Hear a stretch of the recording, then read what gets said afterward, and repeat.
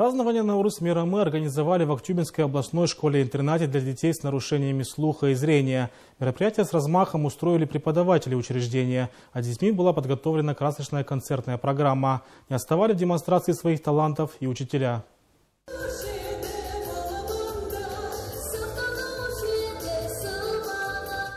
Радуясь тому, что могут вот так весело отпраздновать Наурыз, коллектив и учащиеся поют песни и танцуют. Шикарно накрытые дастарханы забелуют национальными яствами.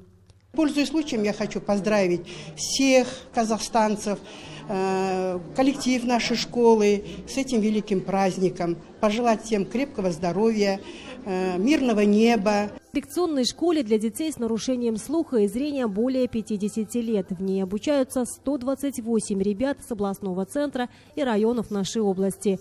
В основном занимаются тут дети со слабым слухом. Преподают им более 170 человек, занимающихся обучением и воспитанием.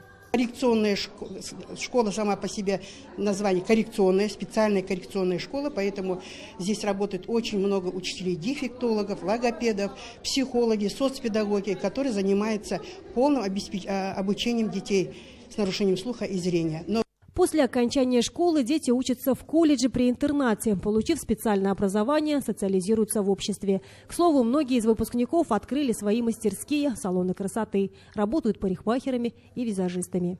Динара Абдуалеева, Миржана Манжолов, телеканал «Актубе».